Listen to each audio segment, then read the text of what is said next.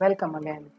Hey there. So today uh, we are going to discuss about how we can add image and pictures in our presentation. Pictures are always better than uh, the text. I'm going to this slide and here is if if your slide is looking like this then you have to go to the picture and select this from your computer like I'm selecting this okay. You can resize this uh, by using these points here. Okay. What if I have a blank slide which uh, do not contain any folder so then you have to go to the insert tab go to the picture section okay. Now you have to select your picture like I this picture of and resizing it so this is how you can uh, add a picture.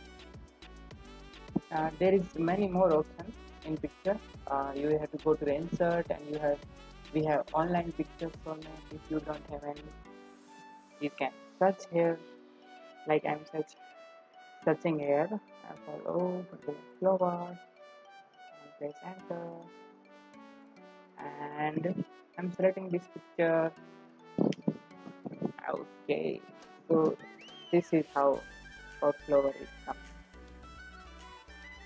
so what if uh, you want to take a, a screenshot and add to the your presentation.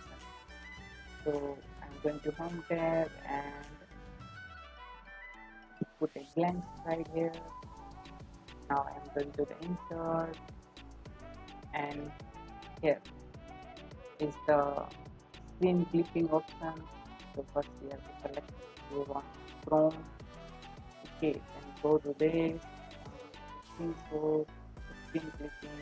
Yeah so actually I want to cut this out. Okay.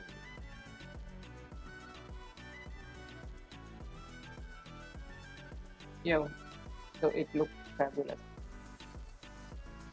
So this is uh, how we can uh, add a pictures in uh, our presentation. I hope you like it.